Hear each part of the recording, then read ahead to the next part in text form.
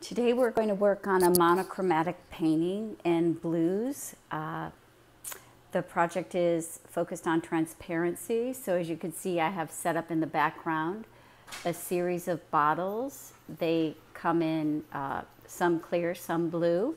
This demo is on monochromatic blues. And as you can see to the left, I've I, I set up my still life. It took about 30 minutes. I photographed the still life and then with my phone, I uh, converted the this left image here. I used um, the filter to give it a cool blue appearance, wiping out all the color in the background. So I can work from my still life as well as the, um, the photograph. Okay, so on the right-hand side, as you can see, I already have my uh, drawing all set up and I sketched it in. Give yourself about 30 minutes to sketch in key marks on your drawing.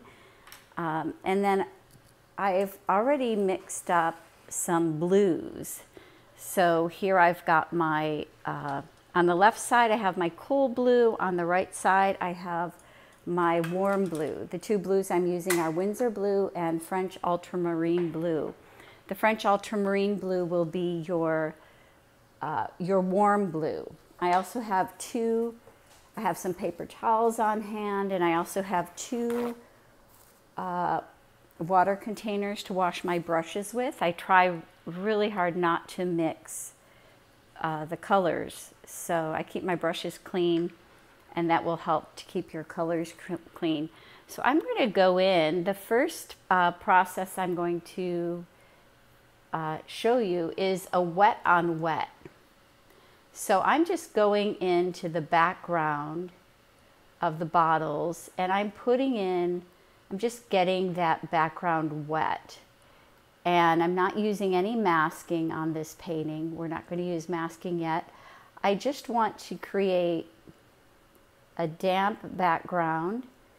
And this is going to be my background, a very light background color. I'll use the Winsor blue. You can use your cool blue. So I'm going to let the background get a little bit damp, but not dripping wet. And that will, when you do wet on wet, it will give you a soft halo. Um, so I'm not going directly. So uh, my surface is a little bit damp.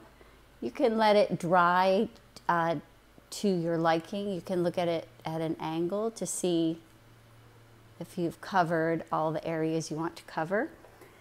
And then with a very, very light, uh, very watered down Winsor blue, I'm just going to softly apply this color. You can lift up. Now, as you can see, I do like to work uh, vertically on a vertical surface. Um, I've been working on a vertical surface for many years, so I try with watercolor, it's a little tricky because it can drip, so I don't let my paints get too damp.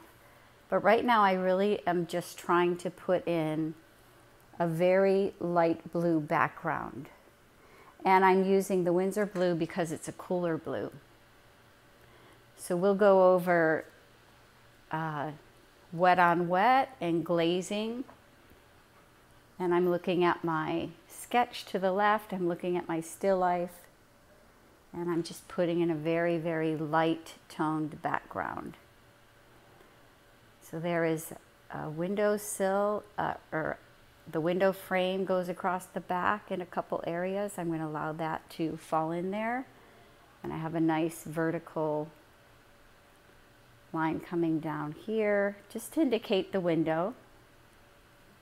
Here again, it's wet on wet, so it's giving me that soft halo. I could just dab in.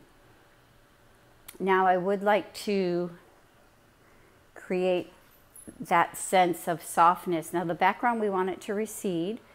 So I'm going to go in and do the same for the area around the bottles.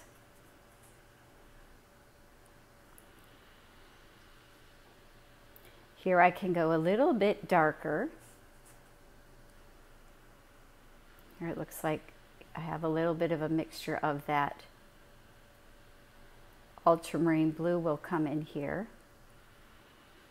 So I'm going to keep my background light and my foreground. I'll allow the colors to get a little bit uh, less transparent. So they'll they'll have more reflection. There will be more reflection off of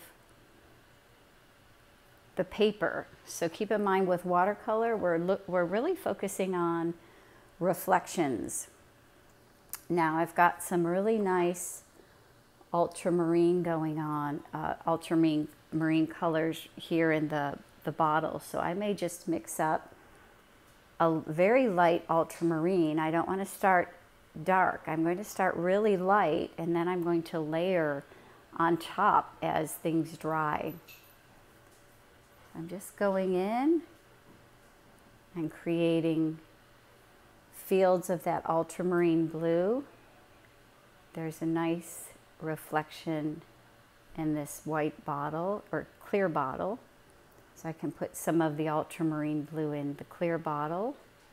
Oh, I grabbed the wrong, grabbed the wrong color. We have to watch for that. It's focusing on making sure you're getting the right color. Get my ultramarine blue. And that's what the assignment is really about. It's really about discovering what you can do with a monochromatic painting, just using one hue. And in this case, that hue would be the color blue, using warms and cool blues.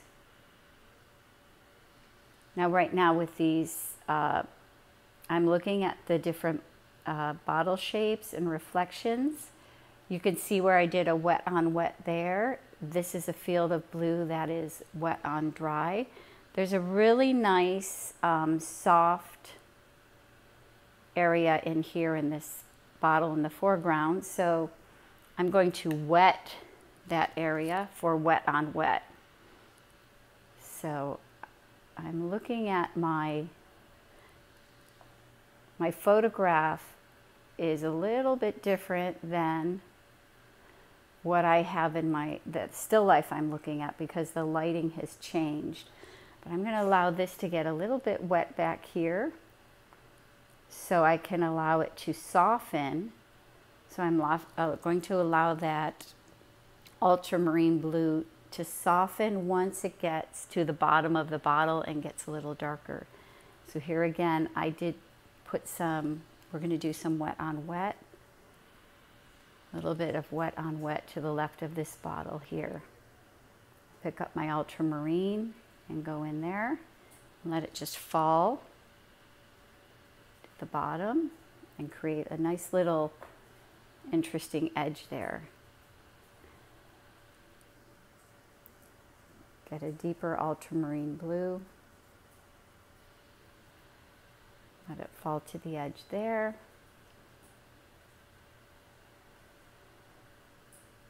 And when you're putting color over color, that's called glazing. One of the nice things about um, the wet on wet, as you can see now I'm putting some hue into this wet area and that's wet on wet and it's allowing that ultramarine blue to create some nice patterns in the glass. So these glasses that I'm using are full of water so the nice thing about water is you get that nice transparent look. So here again, I'm going to wet, there's water in this bottle and I'm going to create a field of wet. And then if I go in there, I can lift up extra water with my brush by drying it. I can go in once that water is sitting on the surface and absorbs into the paper, then I can go into it and add a little bit more color and that will be soft. I'm adding a softer field of the ultramarine blue on top of a light wet and then I get that nice soft shape. Okay. So I see on the clear bottle on the right, I also would like to put in, this is clear, so I'm going to keep a lot of this light in here, but there's a reflection of the cool blue bottle. So I'm using my flat brush to bring this shape into the bottom of this bottle. And there's a little bit of a nice ultramarine picked up here. So here at the base of this cool blue bottle, see how you can draw a line with your brush. This is a, all this I'm doing is big shapes with the flat brush. I'm looking at my still life, not necessarily at the, the light is changing, so my reflections may change a bit as I jump between my photograph and my still life. I do like what I see happening with some really nice reflections underneath this ultramarine blue bottle.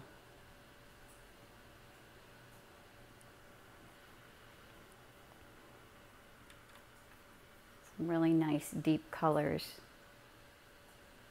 How that the light is changing.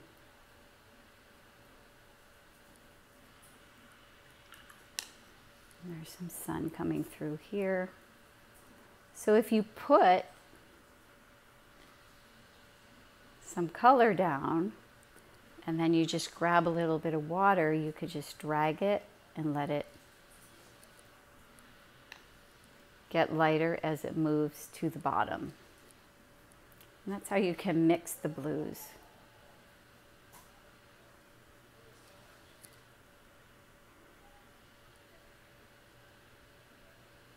Looking at the base of this jar. So when you're creating reflection, when you're looking at transparent glass, you're, you look at what can you see through the jar. So right now I'm working on some reflective areas. I put my soft background in. Looks like I could use one more area of soft color. Go up over here. And I'm going to pull in a field of light cool blue. Okay. And I'm going to fill in this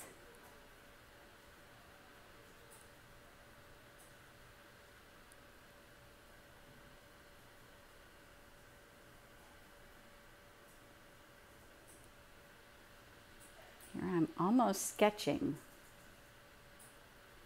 with the edge of my flat brush. A flat brush is very helpful just to put in edges. And I'm only thinking of shapes I could just move this over and create a field of color. And I will change that color once it crosses the line of the clear bottle in front.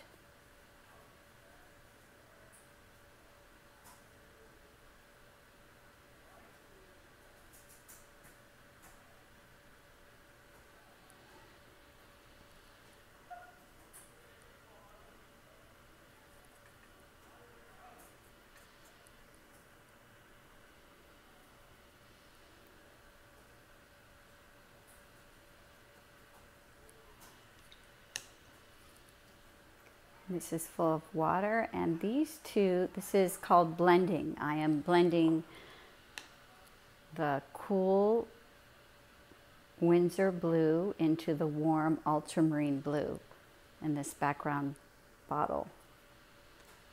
So that's how you can move one blue into another blue. Okay, so we've covered painting wet on wet. Uh, I'm going to go ahead and put that blue bottle in the background as well. So I'm going to mix up a puddle of thin ultramarine blue. And I think I might use my angled brush that is a little bit smaller or possibly the angled brush and the flat brush are good for edges just create the shape of this tall blue bottle in the background. I'm going to go with the top of the bottle, neck. Now, keep in mind, I'm only thinking of shapes. I'm looking at the shape of that top of the bottle where the lid close, closes over it. Cap to the bottle and then I'll just bring go down.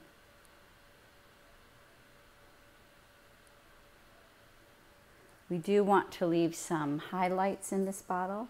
I'm going to leave some, let some light areas peek through. In that case, that's where this angled brush seems to work well. I'm looking at my still life and I see this nice dark deep color. I'm using my angled brush to create a nice deep color. And then moving off of the mason jar in front, keeping the edge of that mason, mason jar. And then I can always add water to this to soften the blue bottle in the back. Now I have a nice hard edge here. And then it breaks over and cuts into this bottle. Tall bottle on the left. I'm going to keep some edges soft and some hard. Looks like it gets dark in here. So as we move lower on the bottle, there's areas where the light is not hitting. So we have some light areas and dark areas. So this is a good exercise doing a monochromatic piece where you're only focusing on the lights and the darks. Now keep in mind with transparency, when you have an object behind another object that's transparent, the object in the foreground is going to look lighter. So what I'll do with this tall, it was a balsamic vinegar bottle, and then the, that was a water bottle in the background. I'm going to use a lighter for lighter color of the ultramarine blue. So this is going to give us, this will give us the indication that yes, that ultramarine blue is, bottle is in the background.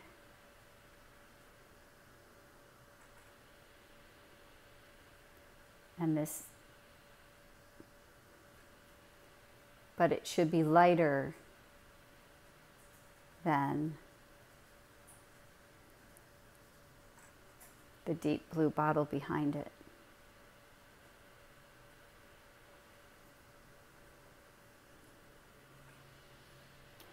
And with watercolor, it's fun to just experiment with your brushes. Um, you will get to uh, experiment with what do you want dark and what do you want light. Again, looking at that bottle and thinking, what are we going to put in and what will we not put in? You see here again, the wet on wet is working well. So use the wet on wet process for the bottles in the foreground and that will give them that feeling of transparency. I'm just dropping in, th this bottle is angled, so I'm just hinting at there being some sort of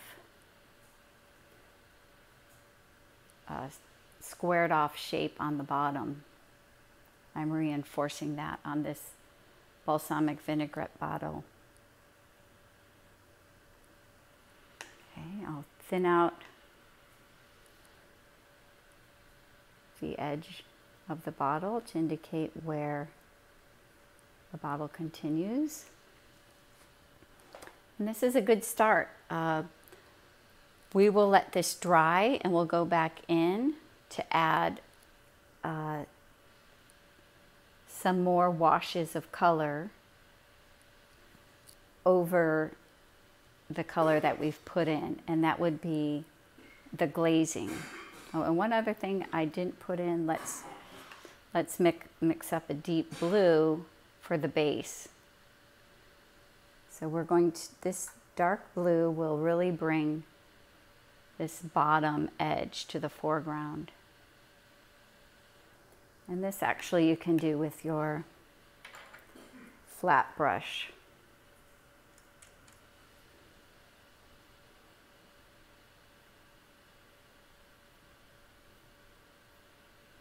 I'm going to put a nice hard edge in and this nice hard edge is going to bring this front edge to the foreground and then the soft color in the background will send the, so the, the background to area to the background. So you could see, I don't want to soften this too much. As you can see how softening it, it started to compete with the background. So I'll go in and put more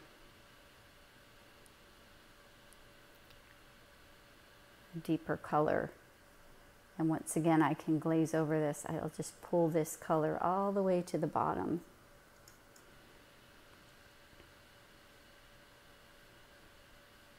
of the drawing. You can paint in wet on wet and you can paint with a dry brush, in other words. So I'll give you a quick example. If I were to look up at the, the top part of this balsamic vinaigrette bottle, I can go in and pick out just a little very light amount of the Winsor blue and just mimic, create a shape that mimics that top lip of the bottle.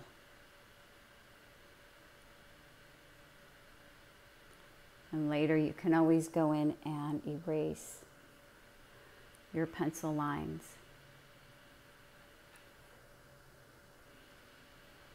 So this is all dry here. I can just put in a field of color just to indicate the ref reflection, the shapes of the reflection of that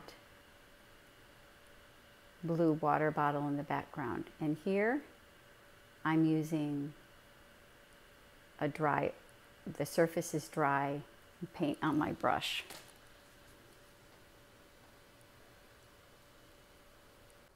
Okay, now that we've placed the large shapes in our painting, I'm taking, I, I, I'm taking another look at the still life and at my sketch. I went ahead and mixed up more color, um, both the lighter, uh, cooler blue of Winsor blue, and I mixed up some French ultramarine blue. And I'm now we can just go in and I let the painting dry for about 10 minutes while I cleaned up my palette. So I got rid of the colors I was using, I cleaned my water containers, and now I'm ready to go in with a smaller brush. Now I, um, I, I didn't mention it in the beginning, but we start the painting with, we start large and light, and then now we'll go move down to smaller brushes and do smaller shapes. And as we layer color, on top, we'll start to get a little bit darker. So I'm going to look at this shape back here. This is a light shape. Um, so I'm using very watered down color. I'll put in a light shape here just to indicate the transparency of this bottle.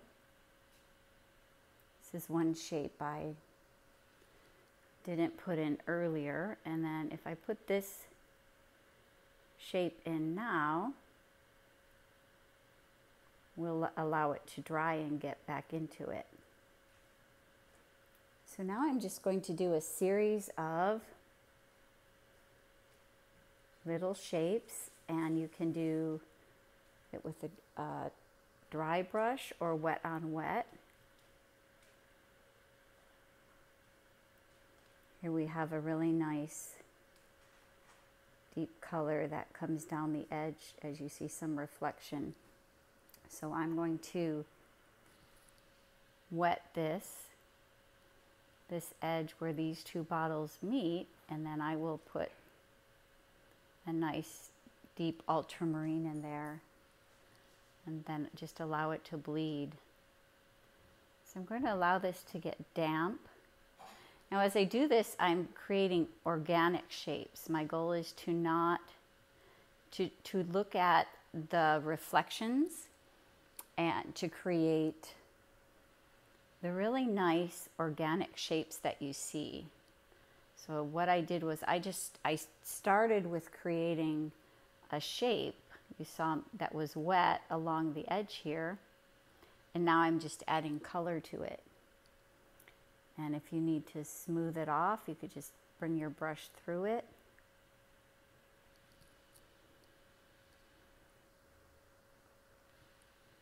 And now on my palette, I have some dark and some light mixes. In other words, some that are very, a lot of pigment and some just a little bit of pigment. Now I could come right up next to that ultramarine blue and put in another soft color, uh, transparent color next to it and let the whites show through to indicate the reflection on the glass. Notice how I'm using the side of my brush. You can go along this side and that will give you some nice interesting shapes. You see how I brought that down over a color and that's where you have your glazing coming in. I'm going to go ahead and do it over here because I think it will add a nice effect. And that's how you're getting transparency and reflection of glass.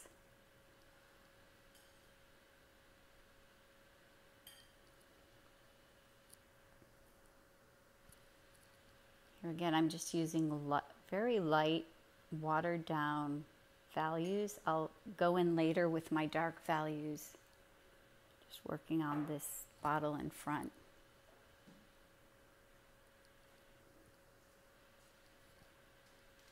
This edge is standing out too much to me, so I'm going over it with some wash just to soften that edge because I don't think I really want it to be as hard as it was. And then later I'll go in with this and I'll blend this so it softens. And this whole process is just experimenting, going back and forth between glazing over what value do you want and experimenting with dry brush and wet on wet.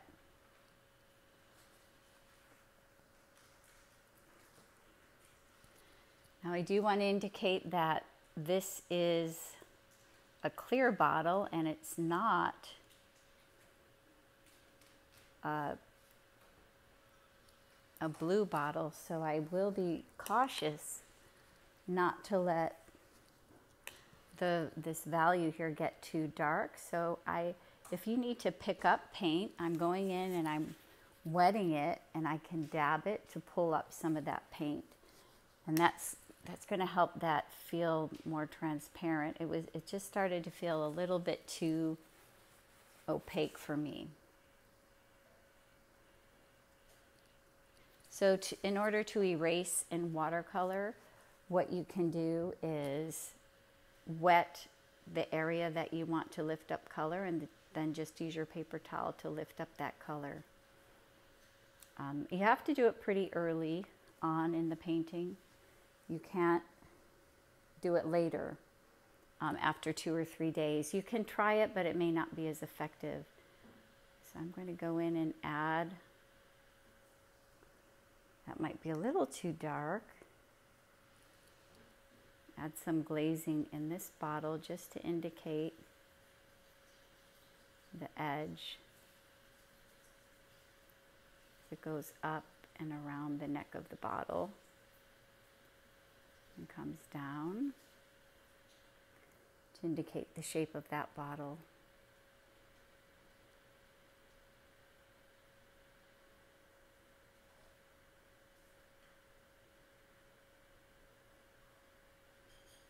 Here the two bottles meet so I can put an indication of that cooler blue bottle crossing over. I'm going to soften this shape and allow it to be more of a glaze. So I just dipped my brush in water and then lifted and moved it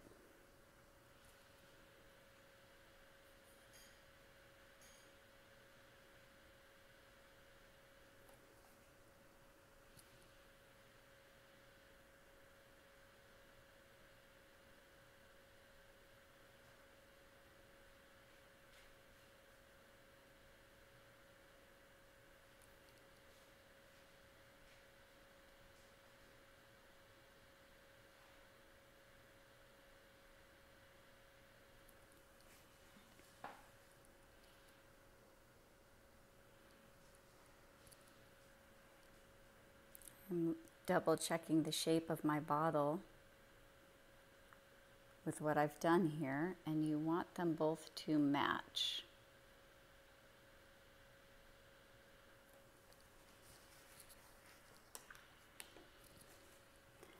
And I'll go in and lift up some color here to indicate a reflection.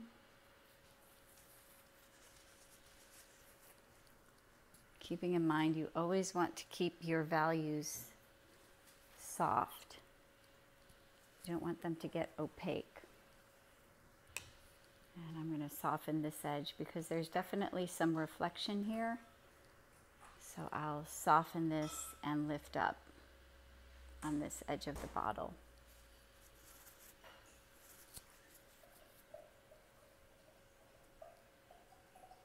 You can indicate where the light will come through. you can see how you can manipulate the watercolor just by adding water and lifting up. I don't want to lose this round edge. This is tricky. It, you don't want to draw the whole edge, but you do want to get give the illusion that this bottle continues over here on the left. I'll let that dry and then I'll go in with a deeper blue color. I do like what's happening behind this clear mason jar. So I'm going to add a little bit of wet on wet and let it bleed a little bit. And this is the water line in the bottle. But keeping in mind I want everything to remain soft, I'll just go in and create some organic shapes.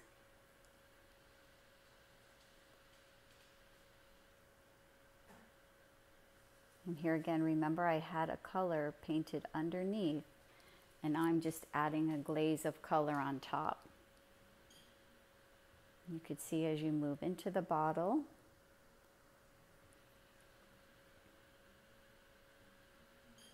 at the water line, it's more transparent, it's lighter. So this should dry pretty light.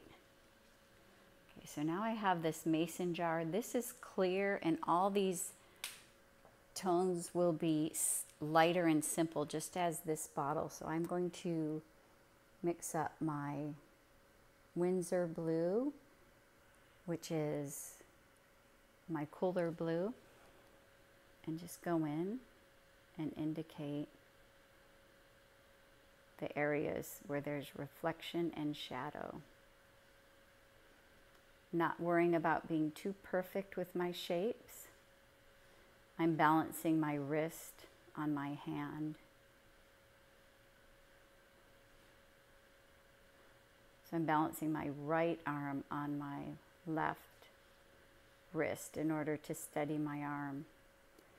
So here this is clear and right here is where we have the other end of this bottle coming through. We can see it, it's transparent. So I'm going to plate, put that bottle in there and let it go from dark to light and then the water line is right about here. So I'm going to put in that shape.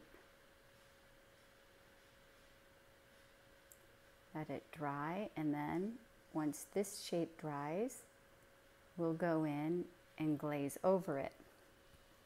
And there you can see how just layering and layering uh, fields of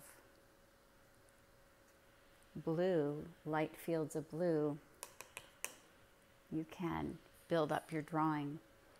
So this water bottle, this blue water bottle, is behind this mason jar. So here's where I'm going to bring in my a lighter ultramarine blue.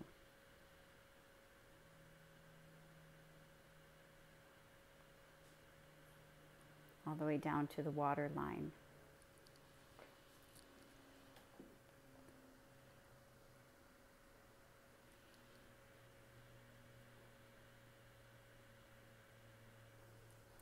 Now I'm squinting down on my still life to see that edge. And by pulling out some of my ultramarine blue, I can create a soft line that gives the illusion of that bottle in the background. Uh, this is an exercise in just paying attention to edges. Here again, there's, I'm just adding some pigment to already wet, an already wet area. Now to give this mason jar in the front some shape, I'm going to have to put a couple dark lines in there because it's starting to dis disappear. So there's definitely a strong edge that comes in and down, sit at the bottom. So if you need to give shape to something, you can do it with a hard edge or contrast it with a soft edge.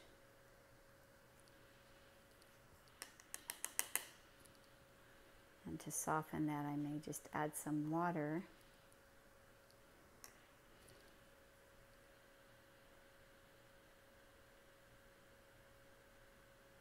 we definitely have the edge of this jar.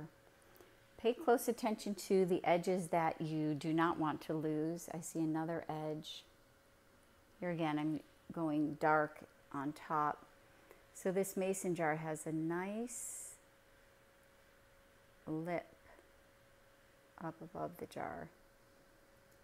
And it is right down in front. So I'm going in and layering on top of the rings of the mason jar. Now you have to do this very carefully. Uh, you're balancing between too much or too little. I could see where we definitely need a white edge. You can either try to lift up the white edge or I can. Here I would be experimenting with some of that Chinese white after everything is dry, just to give an indication that this jar moves over. So to create that left edge of the mason jar, I just went in with some Chinese white that still allows for some transparency. So we don't want to lose that edge. If we were, we could have not allowed that to have paint on it.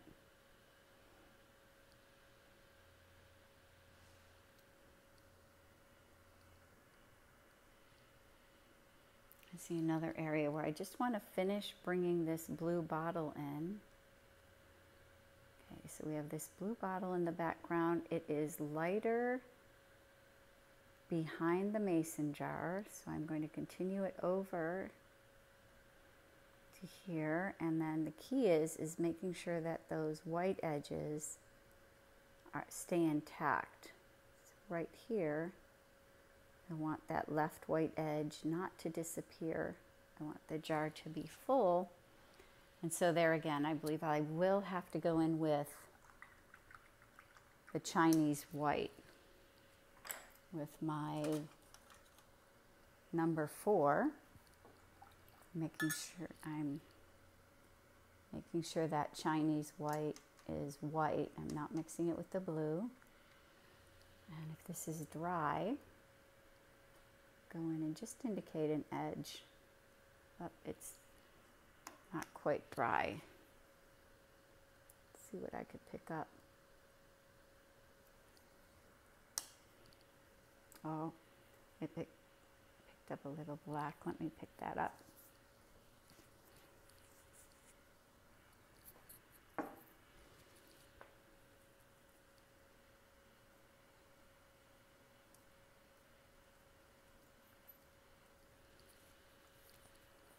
I'm going to go into the Chinese white again.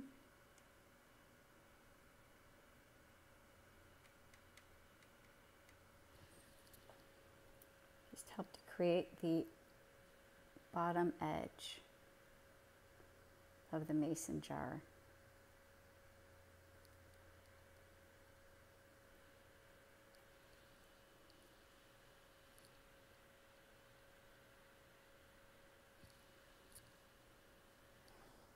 Okay, so you would then continue uh, layering fields of color. Uh, here again, you can pick up, this is a flat one inch brush. It's picking up this edge with some ultramarine blue. Warmer colors will come to the foreground. Cooler colors recede.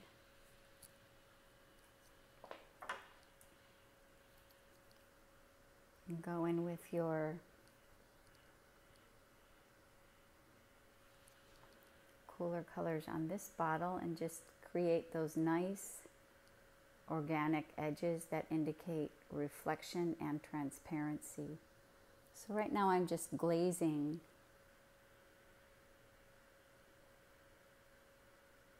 over dry.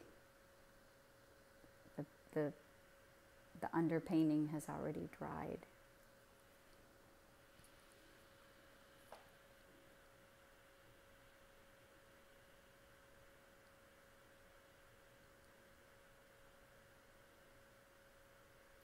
And this entire time I'm looking at edges. Here I have a nice dark edge of this will help bring this to the foreground.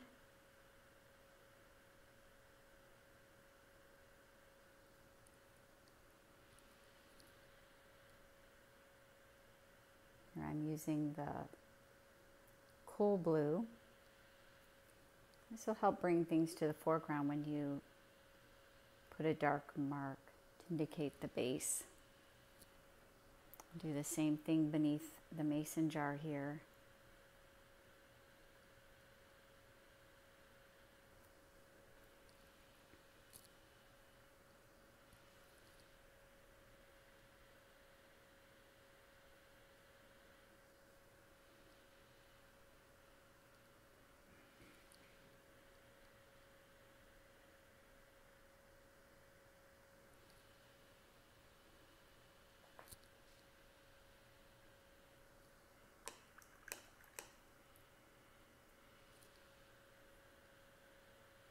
I have some pencil lines here. I'm just going to create some small thin fields of light color.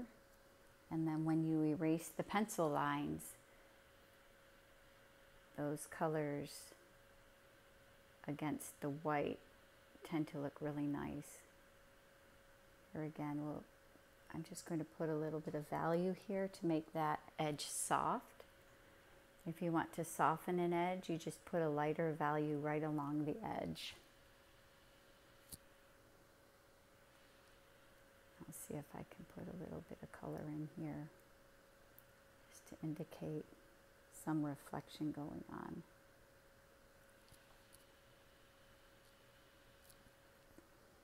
And then a little bit lighter, that reflection continues down.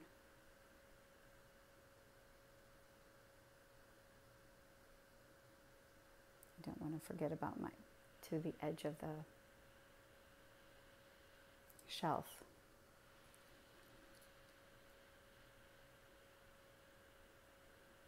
Keeping in mind, I don't want to forget my reflections. So I have these bottles sitting on a marble surface. If you have a reflective surface, uh, it, it can work really well for a, a still life painting. Reflections are a lot of fun to work with. Uh, this would be here with a wet on wet of this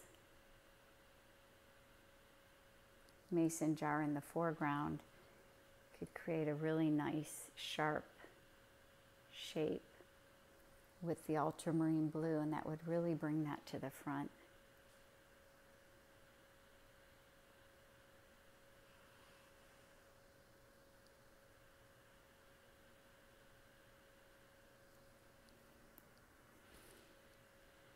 You could see how it worked well when I put wet on wet right here. That was wet on wet. This one, just let it move down.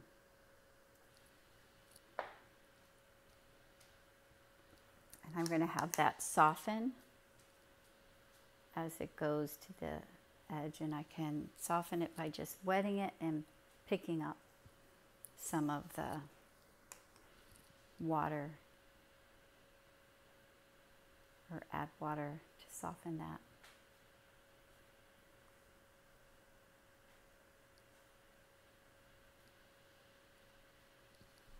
Okay, and you could keep keep working on it as long as you think is necessary. Careful not to overwork it. That's the thing with watercolor.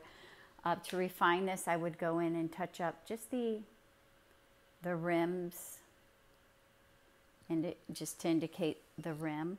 Uh, it's a good idea to erase your uh, pencil lines because once you erase them, you see what you have and you might be happily surprised and decide not to add any more color. So that in that respect, the transparency will work really well once the lines are erased.